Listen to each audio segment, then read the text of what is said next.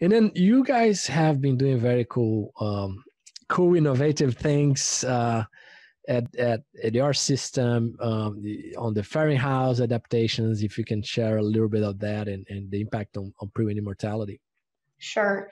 Um, yeah. So if anybody attended Leman conference this year, Mark Schwartz, who's our director of production, um, shared kind of this novel approach that we've been implementing in a few farms in the farrowing house. And what that technique is called is a multi-suckle common creep. So you might see it labeled as MSCC.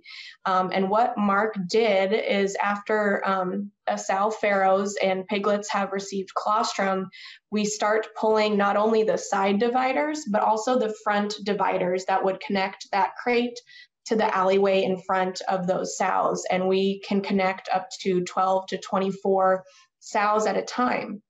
And um, we level out the floor so that the piglet can walk right out of that crate, really across across the aisle to any other crate.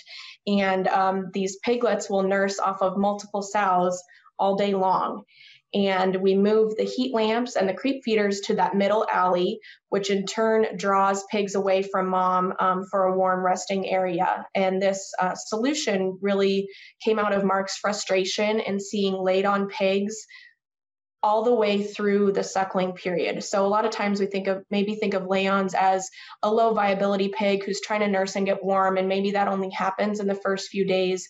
But I think if we dig into the data, we understand that laid on pigs really can occur all the way um, through through farrowing. And um, that's because these crates were designed for sows that had litters you know 10 15 years ago uh, which were three four five piglets less and so Mark's idea was to allow more space for those piglets um, and also allow them to find uh, their source of nutrition, essentially nurse on, on any sow. And we have seen a, a, a fairly significant reduction in pre-weaning mortality.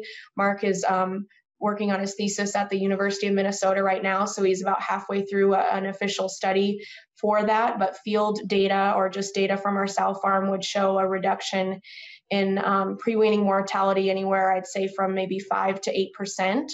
Again, still preliminary data, but um, we're excited about what we're seeing.